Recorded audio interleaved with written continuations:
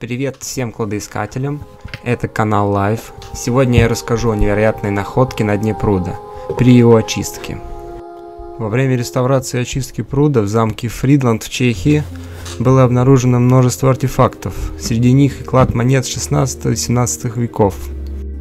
Все находки выставлены в самом замке.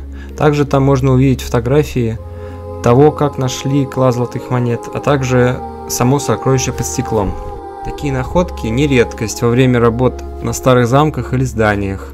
Во время излечения осадков в загородном пруду во Фридланде были найдены 42 преимущественно золотых монеты. По мнению археологов, эта сумма довольно значимая в те времена.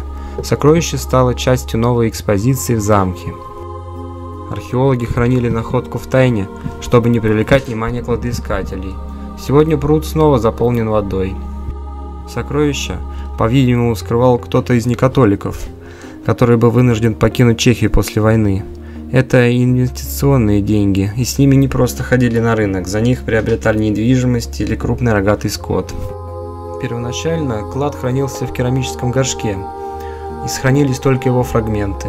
36 золотых дукатов и 6 серебряных монет. Самая старая монета – это венгерский дукат Фердинанда I 1528 года.